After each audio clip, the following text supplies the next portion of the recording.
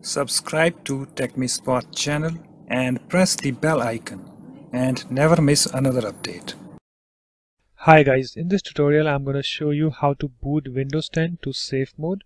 Okay guys, so I'm going to show you two methods by which you can boot Windows 10 to safe mode. Okay, so guys, so the first method uh, we have is you need to press Windows plus R key on the keyboard to bring this run window and here you need to type this ms config okay. And click on this ok button. And guys here we have this you know system configuration window. On this window you need to click on this boot tab. And here we have this boot options. Uh, so just check this option safe boot. And let it be default this you know minimal. And guys you need to click on this apply button and then ok button and here we have this you know window. You may need to restart your computer to apply these changes. Before restarting save any open files and close all programs. Okay guys so make sure you do that. And after that you just need to click on this restart button. Okay so guys you can see that it's restarting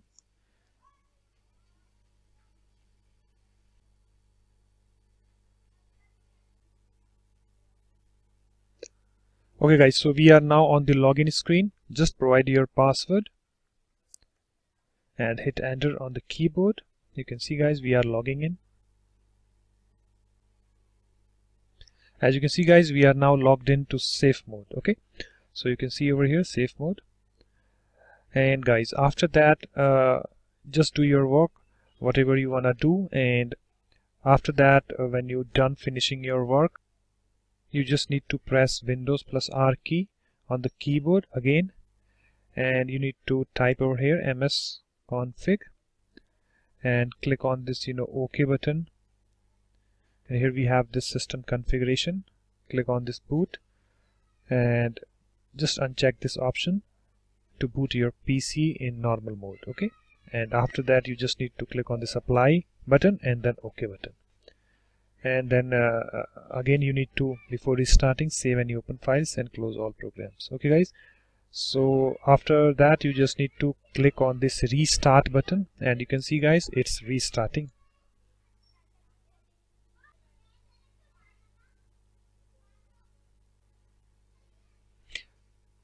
Uh, we are now on the login screen guys. And just provide your password and hit uh, enter key on the keyboard or you can click over here. And we are logging in okay?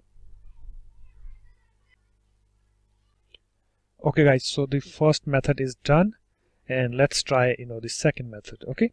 So uh, you need to press this shift key on your keyboard and click on this start button and click on this you know power and you need to uh, click on this you know restart okay? I'm still holding the shift key still holding this shift key.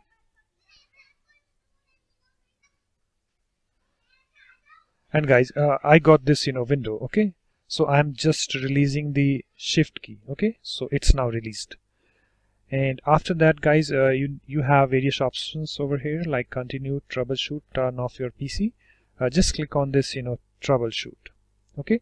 And here we have this you know troubleshoot uh, reset this PC or we have this advanced options. So just click on this advanced options and here we have this advanced options over here.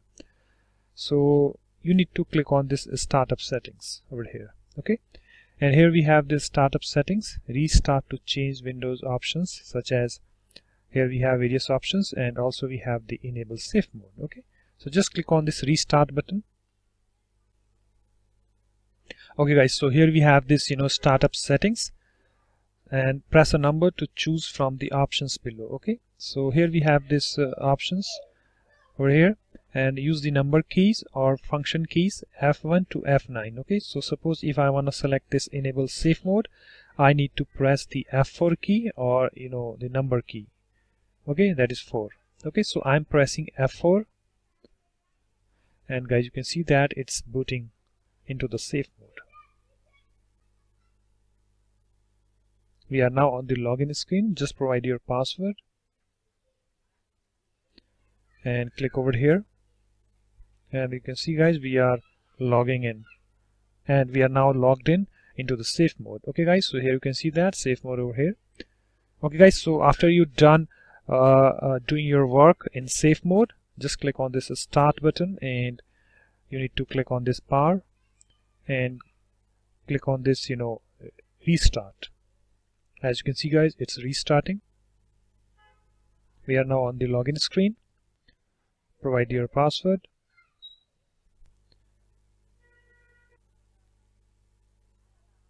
We are now logged in in normal mode. Okay guys.